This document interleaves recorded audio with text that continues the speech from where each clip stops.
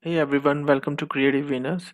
And today we will learn how to design this awesome, beautiful business infographic slide. And we have created it uh, using the morph transition. And this is very easy to design. I hope you will like this template. So before moving further, please watch this. Create beautiful business charts and diagrams easily with the help of eDraw Max. It is all-in-one business diagram tool that helps you increase your productivity at work. It has hundreds of pre-built business diagrams, free templates, symbols, icons, charts, and much more. eDrawMax helps in saving time, enables you to work faster, and help you focus more on presenting the information in a better way. You can easily select the diagram, edit the information, and use it in your presentations and business documents. For more information about eDrawMax, refer to the links in the video description. So please subscribe to our channel, join the membership, and hit like and share buttons. And that way you will support us and motivate us which is very important to us. So the very first step is to insert a shape here. And as you can see on your screen we have inserted this square shape. Now remove its outline which is very important in my every video the first thing I do is I remove the outline of the shape. Now the next step is 3D rotation. The idea here is to create an isometric kind of design where we want to showcase a, a ladder style or steps increasing towards a higher number or something like that the whole idea here is to present steps coupled with growth. There is an increase like step 1 step 2 step 3 and like step 5 so this goes from step 1 to step 5 but you can increase or decrease depending upon your uh, steps. Uh, I mean how many pointers are there in your list so that totally depends upon the topic of your slide. As you can see on your screen uh, designing it is really easy. I've just inserted a square selected 3d rotation.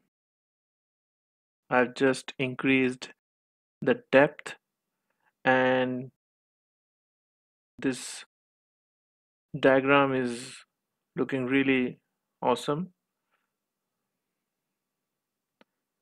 Now insert this another square and change its angle using 3D rotation.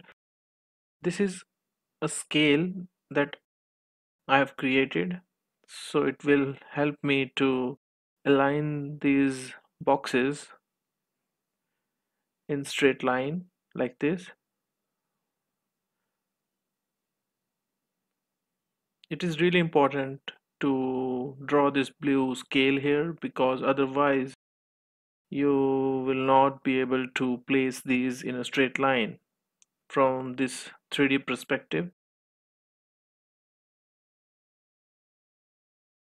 As you can see, I've only created this infographic in just four steps basically. For example, the first step was inserted a square, second was 3D rotation, then third was to increase its depth and fourth was to align these in a straight line. The next part would be to apply reflection and shadow effect which I'm doing at the moment. You just need to select all these apply reflection. You can move these sliders based on your choices and how you want to showcase and how much reflection you need to make it look beautiful. So those are subjective. Now comes the next step that is filling the colors. So make sure the colors that you're filling should be in sync with your brand guidelines logo guidelines and the template color scheme. If your template is following a blue green color scheme then this diagram should be in a blue green color scheme so make sure you follow the guidelines.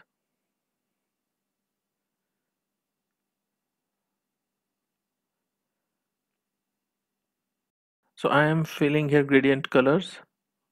So this is a two stop gradient. On the first stop I have filled a dark color and on the second stop I have filled the light color. Selecting a color scheme is an art and it is always important to select a right color scheme. So here I have filled blue green yellow orange and purple color scheme. And this is one of my favorite color scheme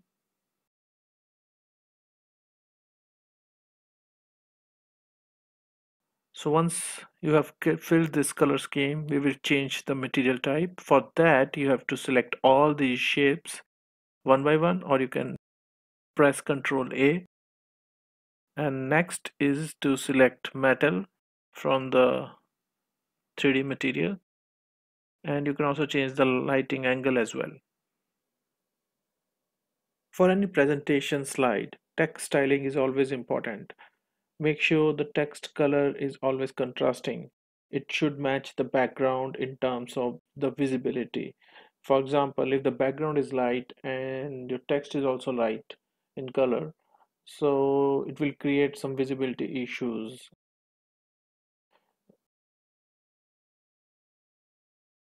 It will also affect the content consumption when you will present your slide so make sure you choose the right color.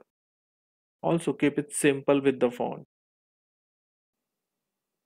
Don't use the fonts which are not readable. Make sure fonts are clearly visible and clearly depicting the text. There are some fonts which are which you know look which look good uh, from design perspective but when it comes to readability those fonts create hindrance between the user and the presentation. So make sure font is correct. Also please keep the spacing in check. Make sure the spacing is uh, uh, proper between the font and shapes around it. There should be proper breathing space between items especially text. Also make sure nothing is overlapping so those things really annoy the reader and it will defeat the purpose why you have built or designed this presentation. So make sure the spacing is correct. Next is alignment which I always speak about in my every presentation. Alignment is very important also, you should al always ensure that your text is structured. It shouldn't be like here and there or random placement. Make sure it follows a theme or a structure when placed.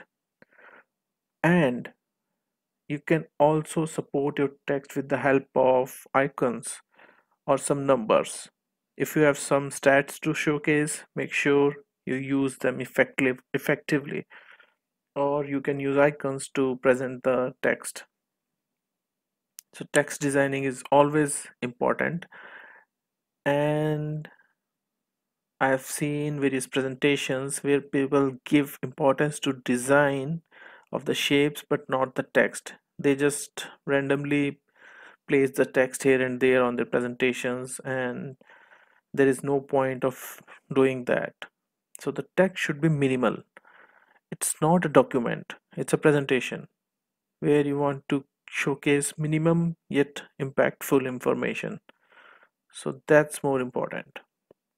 Another thing which is very important and I've always told make sure a design is such and its element should be such that these elements can be reused. That will save your time. For example, I've used this text in all these five shapes. Now our design is complete. Now we will apply the morph transition and it is the most easiest part of designing any presentation. You just need to place the components and morph transition will take care of it. So the first step is to duplicate the slides six times from the first slide remove the infographic design and write the title of your slide or heading of the diagram. For example growth process or phase-wise approach or financial year growth plan anything. So I'm just keeping random things here like my brand name and I've written achievements so this is this will be our first slide.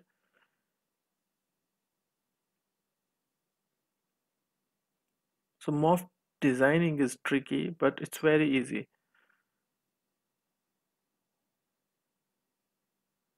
It's animate based on the position of the item where you have placed the item on the next slide. So for the first slide we only need this one shape and its text so when user will land on this slide he will see only this first shape. And on the previous slide paste it outside of the slide area. Similarly on the third slide you have to keep only two shapes and the text and copy this second shape and text and place it on the second slide outside the slide area anywhere